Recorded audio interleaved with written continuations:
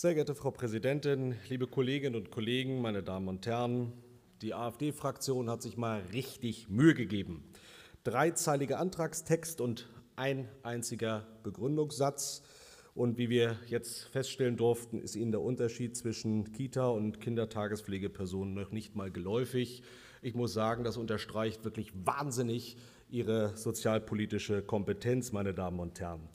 Und so wie Sie jetzt hier sich hinstellen ja, und sozusagen die auflagenfreie Öffnung der Kindertagesstätten fordern, haben Sie am 13. März, und Herr Kramer, hören Sie bitte zu, äh, in einer Pressemitteilung gefordert mit Vehemenz, Schulen und Kitas müssen geschlossen werden. Da wollten Sie Speerspitze der Bewegung sein. Jetzt wollen Sie andererseits Speerspitze der anderen Bewegung sein, meine Damen und Herren. Und ich kann Ihren Ärger ja verstehen, dass Sie in diesen Tagen nicht wirklich Gehör finden. Ja? Und äh, warum das so ist, hat äh, in der Einbringung der Kollege Förster, finde ich, sehr gut dargestellt. Aber, meine Damen und Herren, die populistischen Anträge, die Sie hier stellen, die werden nicht helfen, von ihrer aktuellen Bedeutungslosigkeit abzulenken und auch von ihren internen Machtkämpfen. Ich sage Ihnen ganz klar, konstruktive Oppositionsarbeit sieht wirklich anders aus. Und eins will ich feststellen, die CDU-Fraktion will genauso wie alle wie die Koalition insgesamt und natürlich auch das Ministerium, so schnell wie möglich zu einem auflagenfreien Regelbetrieb äh, Betrieb zurückkommen, zum Wohle der Familien. Aber das muss mit Verantwortung passieren und nicht mit Sozialpopulismus. Bevor ich Ihnen aber die Faktenlage erörtere, wobei ich das gerne etwas raffen will, die Ministerin hat das, wie ich finde, sehr eingängig dargelegt, möchte ich mich doch namens meiner Fraktion bei den Familien bedanken die wirklich in den letzten Wochen Erhebliches geleistet haben. Kinder, die ihre Freunde nicht sehen konnten und Eltern, die teilweise rund um die Urbetreuung mit dem Erwerbsleben unter einen Hut bringen mussten.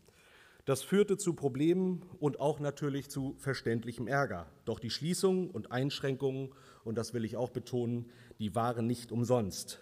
Vielleicht haben sie das Leben mancher Großeltern gerettet und die Gesundheit von Menschen mit Vorerkrankungen und von Risikogruppen geschützt. Und deswegen, und das will ich, und das ist ja bei Herrn Förster ja auch nicht unüblich, mal vom Thema abweichen, will ich an der Stelle den Kinderbonus doch noch mal als großes Signal der Bundesregierung betonen und wir lassen uns das auch nicht von links und rechts kleinreden. 300 Euro pro Kind ist ein ganz starkes Signal und das muss auch noch mal deutlich gesagt werden. Das betonen wir ist eine, eine Leistung, die der Bund auf den Weg bringt, um den Familien deutlich zu sagen, wir denken an euch.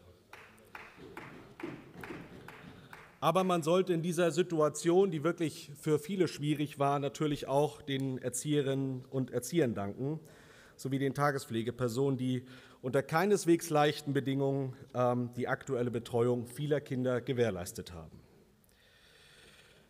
Zum laufenden Regelbetrieb unter Auflagen hat die Ministerin vieles gesagt. Und äh, wir wissen seit dem Wochenende ja auch, dass der Anteil der Kinder in den Tageseinrichtungen bei rund 75 Prozent liegt. Und damit heben wir uns schon deutlich ab von anderen Bundesländern. Wenn Sie meine Einlassung nicht interessieren, dann ist das egal, liebe AfD-Fraktion. Aber immerhin ist es noch Ihr Antrag. Also fände ich es irgendwie angemessen, wenn Sie mir auch wenigstens ein Stück weit zuhören würden.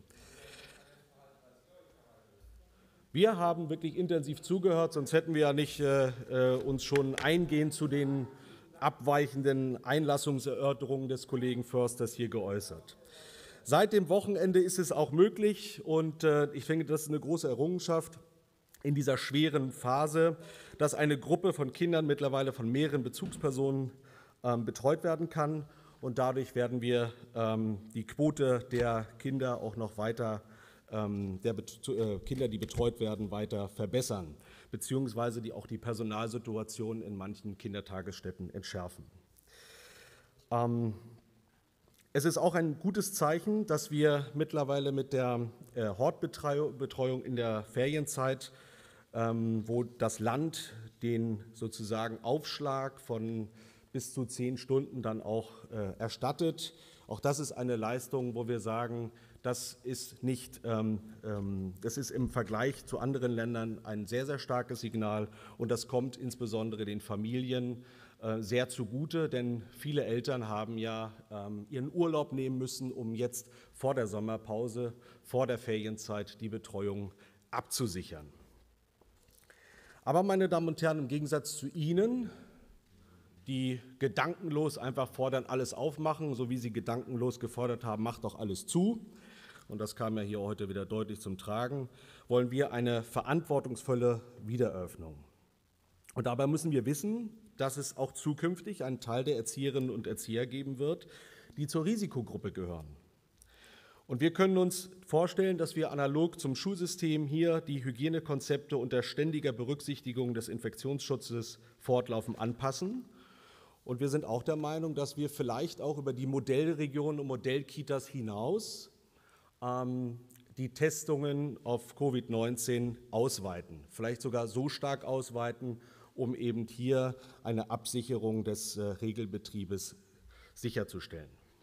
Meine Damen und Herren, ähm, ein zweiter wichtiger Punkt wird sein, aber auch das ist durch das Ministerium angekündigt, dass wir bei Infektionen, die wir nicht ausschließen können, und Sie wissen, Corona ist noch nicht vorbei, auch wenn Sie das gerne unterstellen, ähm, dass wir regional agieren, dass wir natürlich nicht mehr äh, sozusagen den Shutdown, wie Sie es hier unterstellt haben, im ganzen Land vornehmen, sondern mit regional, zu regionalen Maßnahmen übergehen. Und ich finde, das ist sehr verantwortungsvoll.